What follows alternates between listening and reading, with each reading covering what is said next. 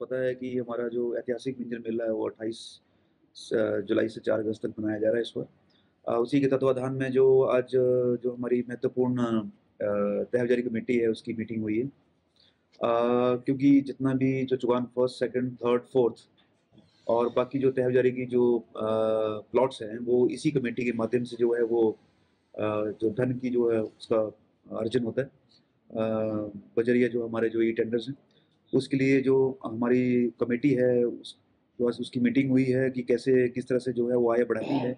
कितना हमने ये इसका मार्जिन रखना है क्या सफ़ाई की व्यवस्था होगी इसके बारे में आज मीटिंग हुई है। सर रिज़र्व प्राइस को लेकर क्या देखिए रिज़र्व प्राइस के बारे में क्योंकि मेन जो हमारा मोटो यही होता है कि ज़्यादा से ज़्यादा जो पैसा जो है वो कमेटी के माध्यम से जो है वो मेले के सफल आयोजन के लिए अर्जित किया जाए। तो आज कमेटी मेंबर्स ने यही सुझाव दिया बाकी जितने भी हमारे ऑफिशियल थे नॉन ऑफिशियल मेंबर्स थे कि फाइव परसेंट जो होगा हमारा जो पिछले साल का जो सफल बोली थी उससे फाइव परसेंट जो प्लस करके हम जो है इस बार टेंडर फ्लोट करेंगे। सर दुकानों के साइज़ को लेकर भी समिति ने विरोध जताया है हाँ इस बार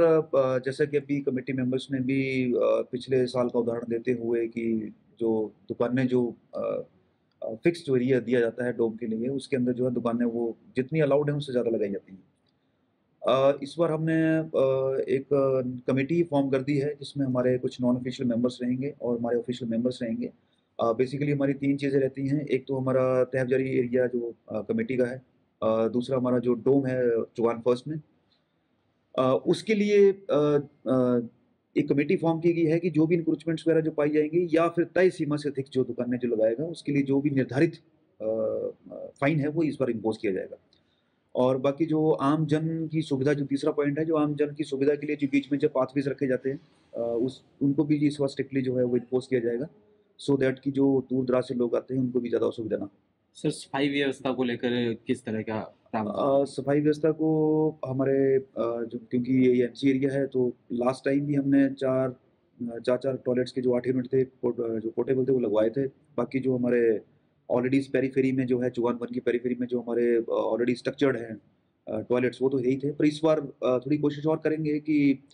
जैसे बारगा में हमारे पास टॉयलेट्स पड़े हुए हैं, या हमारे जो ग्रामीण विकास अधिकरण है, इनके पास भी जो हमारे मोबाइल टॉयलेट्स हैं उनको भी हम इस बार मूव करेंगे सो दैट कि लोगों को कोई दिक्कत ना हो।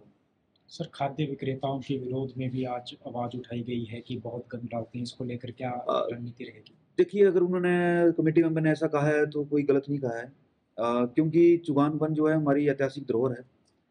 तो क्योंकि इसकी सफ़ाई व्यवस्था रखना भी हमारी ज़िम्मेदारी है। तो खासकर प्राय देखने में आया है कि चुगान वन में वैसे टेबल्स अलाउड नहीं होते हैं बट समटाइम्स क्योंकि ये जो चीज़ प्रैक्टिकल है आपने देखा होगा कि वहाँ भी कभी कभी कबार जो है वो ईटेबल्स कभी कभार के हमेशा लगते हैं। ईटेबल्स लगते हैं, उसकी वजह से जो उसका वो गंदा पानी है मतलब सलीन वाटर है नमक वाला पानी है या चावल का जो गंदा पानी है, वो ज़ुबान की सुंदरता को खराब करता है, उसका जो नीचे घास है, उसको भी खराब करता है। बट